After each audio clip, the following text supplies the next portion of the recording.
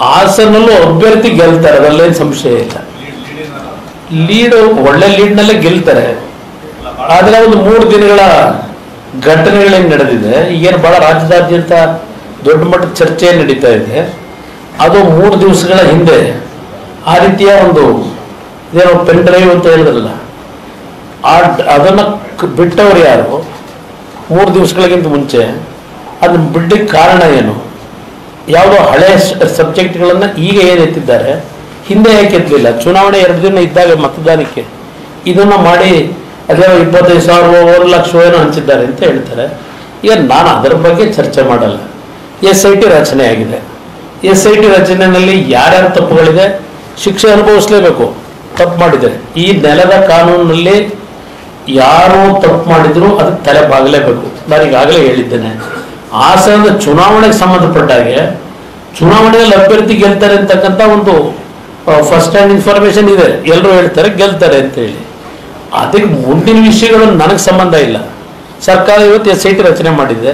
ಅದರಲ್ಲಿ ಯಾರ್ಯಾರ ಪಾತ್ರಗಳು ಏನೇನಿದೆ ಇದೆಲ್ಲ ಸತ್ಯಾಂಶ ಹೊರಗೆ ಬಂದರೆ ಇವತ್ತು ಯಾರು ತಪ್ಪು ಮಾಡಿದ್ರೆ ಶಿಕ್ಷೆ ಅನುಭವಿಸ್ಬೇಕಾಗ್ತದೆ. ಇದನ್ನೇ ನಾನು ಹೇಳಿರ್ತಕ್ಕಂಥ. ಇದು ಫಲಿತಾಂಶದ ಮೇಲೆ ಪರಿಣಾಮ ಆಗಲ್ಲ. ಕುಟುಂಬದ ಪ್ರಶ್ನೆ ಕುಟುಂಬ ಅಂತ ಯಾಕೆ ಹೇಳ್ತೀರಿ? ನಾನು ಇದನ್ನೇ ಕಾಂಗ್ರೆಸ್ ನಾಯಕರಿಗೆ ಹೇಳೋದು, ಕುಟುಂಬ ಅನ್ನೋದನ್ನ ಯಾಕೆ ತರ್ತಾ ಇದ್ದೀರಿ? ಇಲ್ಲಿ ವ್ಯಕ್ತಿ ಬಗ್ಗೆ ಚರ್ಚೆ ಮಾಡ್ಕೊಳ್ಳಿ. ಇಲ್ಲಿ ವ್ಯಕ್ತಿ ಪ್ರಶ್ನೆ, ಕುಟುಂಬದ ಪ್ರಶ್ನೆ ಅಲ್ಲ. ಇದು ಕಾಂಗ್ರೆಸ್ನವ್ರಿಗೆ, ಏನು ಮಹಾನ್ ಭಾವರವರೆಲ್ಲ ಬಹಳ ದೊಡ್ಡ ಇದ್ರಲ್ಲಿ ಬಂದಿರೋರ? ಇಲ್ಲಿ ಕುಟುಂಬದ ಹೆಸರನ್ನ ಯಾಕೆ ತರ್ತೀರಿ? ದೇವೇಗೌಡರ ಹೆಸರನ್ನ ಯಾಕೆ ತರ್ತೀರಿ? ಕುಮಾರಸ್ವಾಮಿ ಹೆಸರು ಯಾಕೆ ತರ್ತೀರಿ? ತಪ್ಪು ಯಾರು ಮಾಡಿದ್ರೆ, ತಪ್ಪು ಶಿಕ್ಷೆ ಅನುಭವಿಸ್ಬೇಕು. ನಾನೇ ಹೇಳಿದ್ದೇನಲ್ಲ. ನಾವೇನು ವಹಿಸ್ಕೊಳ್ಳೋ ಪ್ರಶ್ನೆ ಇಲ್ಲ. ತಪ್ಪಾಗಿರ್ತಕ್ಕಂಥ ವಿಚಾರ ಎಸ್ ಐ ಟಿ ರಚನೆ ಆಗಿದೆ. ಎಸ್ ಐ ಟಿ ರಚನೆ ರಿಪೋರ್ಟ್ ಏನು ಕೊಡ್ತಾರೆ? ಅದ್ರ ಮೇಲೆ ತಪ್ಪು ಮಾಡಿದ್ರೆ ತಪ್ಪು ಅನುಭವಿಸ್ಲೇ, ಶಿಕ್ಷೆ ಅನುಭವಿಸ್ಲೇಬೇಕು. ಈಗ ಇಂಥ ವಿಷಯಗಳು ಮುಜುಗರ ನನ್ನೊಬ್ಬನಿಗೆ ಅಲ್ಲ. ಸಮಾಜಕ್ಕೆ ಆಗುತ್ತೆ. ಸಮಾಜಕ್ಕೆ ಮುಜುಗರ ಆಗುತ್ತೆ ಇದು. ಇದು ನಾನು, ಇದನ್ನು, ನಾನು, ಇದೇ ವಿಷಯದಲ್ಲಿ ಸಹಮತ ಇಲ್ಲ.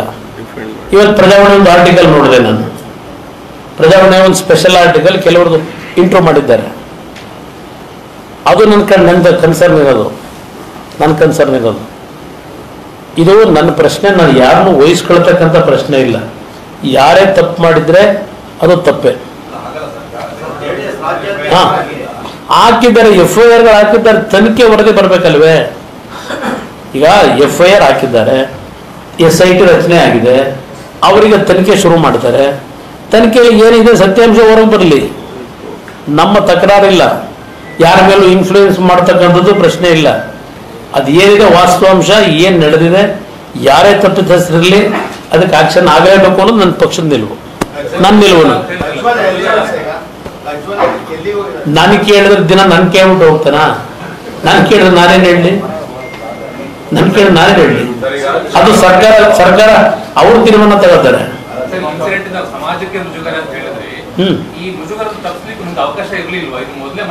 ವಿಷಯ ನಮಗೇನು ಗೊತ್ತಿದೆ? ಅವರು ಬೇರೆ ಸೆಪರೇಟ್ ಇದ್ದಾರೆ. ಇಲ್ಲಿ ಕುಟುಂಬ ಒಂದು ನಿಮಿಷ ಒಂದು ನಿಮಿಷ. ನಮ್ಮ ಗಮನಕ್ಕೆ ಬಂದಿದ್ರೆ ನಾವು ಮುಜುಗರ ತಪ್ಪಿಸ್ಬೋದಾಗಿತ್ತು. ಇದು ವಿಷಯ ಇದು ವೈಯಕ್ತಿಕವಾಗಿ ನಡೆದಿರ್ತಕ್ಕಂಥ ವ್ಯಕ್ತಿಗಳ ವ್ಯಕ್ತಿಯ ಹಿನ್ನೆಲೆ. ಈಗ ಪ್ರತಿನಿತ್ಯ ಅವ್ರು ಎಲ್ಲಿ ಹೋಗ್ತಾರೆ, ಎಲ್ಲಿ ಬರ್ತಾರೆ ಅಂತೇಳಿ ನಾವು ದಿನ ಕಾಯ್ಲಿಕ್ಕಾಗತ್ತಾ? ನಮ್ಮ ಕೈಲಿದೆಯಾ ಅದು? ಪಕ್ಷದಿಂದಲೂ ಕ್ರಮ ತೆಗೆದುಕೋತೀವಿ. ಪಕ್ಷ ನಿರ್ದಾಕ್ಷಿಣ್ಯವಾಗಿ ಕ್ರಮ ತಗೋತೀವಿ ಇಲ್ಲಿ ವಹಿಸ್ಕೊಳ್ತಕ್ಕಂಥ ಪ್ರಶ್ನೆ ಇಲ್ಲ. ಅದು ಇದೆ. ಅದು ಇದೆ. ನೋಡೋಣ. ಅದಕ್ಕೆ ಎಸ್ ಐ ಟಿ ವರದಿ ಇದೆಯಲ್ಲ? ಅವ್ರು ಏನ್ ಕೊಡ್ತಾರೆ ನೋಡೋಣ? ಈಗ ಅದೆಂಥದ್ದು ಪೆನ್ ಡ್ರೈವ್ಗಳು ಇಡೀ ಸರ್ಕ್ಯುಲೇಟ್ ಆಗಿದೆ ಅದ್ರಲ್ಲ ಅದೆಲ್ಲ ಹಿಂದೆಗಡೆ ಯಾರಿದ್ದಾರೆ ಯಾರುಗಳಿಗೆ ಎಕ್ಸ್ಪರ್ಟ್ಗಳು ಅವರಲ್ಲ ಕೆಲವರು ಬರ್ಲಿ ಈಗ ಇದ್ರ ಬಗ್ಗೆ ಚರ್ಚೆ ಬೇಡ. ಎಸ್ ಐ ಟಿ ರಚನೆ ಆಗಿದೆ. ನಾನು ನಿನ್ನೆನೂ ಹೇಳಿದ್ದೇನೆ. ನೆನ್ನೆಯೂ ಸಹ ಉಪ್ಪು ತಿಂದವ್ರು ನೀರು ಕುಡಿಬೇಕು ಅನ್ನೋದನ್ನು ಹೇಳಿದ್ದೇನೆ. ನಾನು ಇದಕ್ಕಿಂತ ಇನ್ನೇನು ಹೇಳಕ್ಕಾಗತ್ತೆ? ನನಗೆ ನೋಡಿ ನಂಬಿಕೆ ಪ್ರಶ್ನೆ ಅಲ್ಲ. ನಾನು ಎಸ್ ಐ ಟಿಗೂ ಹೇಳ್ತಕ್ಕಂಥದ್ದು ಸರ್ಕಾರಕ್ಕೂ ಹೇಳ್ತಕ್ಕಂಥದ್ದು, ಇದು ಪಾರದರ್ಶಕವಾದ ತನಿಖೆಗಳು ಮಾಡ್ಕೊಳ್ಳಿ. ಸಮಾಜದಲ್ಲಿ ಈ ರೀತಿ ಆ ನಡೆದು, ನಡಿಬಾರದು ಅನ್ನೋದು ನನ್ನ ಅಭಿಪ್ರಾಯ. ದೇವೇಗೌಡರಾಗಲಿ, ನಾನಾಗಲಿ, ಎಂದೂ ಸಹ ಈ ದೇಶದ, ಈ ನಾಡಿನ ಮಹಿಳೆಯರಿಗೆ ಅತ್ಯಂತ ಗೌರವಿತವಾಗಿ ನಡ್ಕೊಂಡಿದ್ದೇವೆ. ನಮ್ಮ ಕುಟುಂಬ ಆ ರೀತಿ, ನಮ್ಮ ಕುಟುಂಬದ ನಾನು ದೇವೇಗೌಡರ ಬಗ್ಗೆ ಹೇಳ್ತಾ ಇದ್ದೀನಿ. ನಾವು ಗೌರವಿತವಾಗಿ ನಡೆದಿರ್ತಕ್ಕಂಥವ್ರು. ನಾವು ಇಲ್ಲಿ ಈ ವಿಷಯದಲ್ಲಿ ನಾನು ಹೇಳ್ತಕ್ಕಂಥದ್ದು ಲಕ್ಷಾಂತರ ಜನ ನನ್ನ ಹತ್ರ ಬಂದಿದ್ದಾರೆ. ಕಷ್ಟ ಸುಖ ಕೇಳ್ಕೊಂಡು. ನಾನು ಯಡಿಯೂರಪ್ಪನವರು ಸರ್ಕಾರ ಮಾಡಬೇಕಾದ್ರೆ ಪ್ರತಿನಿತ್ಯ ಹತ್ತತ್ತು ಗಂಟೆ, ಹದಿನೈದು ಗಂಟೆ ಆ ಬಡವ ಕಷ್ಟ ಸುಖ ಕೇಳಿದ್ದೇನೆ. ಹಲವಾರು ತಾಯಂದರು ಬಂದು ನನ್ನ ಹತ್ರ ಅವ್ರ ಕಷ್ಟ ಹೇಳ್ಕೊಂಡಾಗ ನೆರವು ಕೊಟ್ಟವ್ರನ್ನ ಸಂಕಷ್ಟನ ಪಾರು ಮಾಡಿರ್ತಕ್ಕಂಥವನು. ಅದರಿಂದ ನಾವು ಮಹಿಳೆಯರಿಗೆ ಅತ್ಯಂತ ಗೌರವ ನಡ್ಕೊಂಡಿರ್ತಕ್ಕಂಥವ್ರು.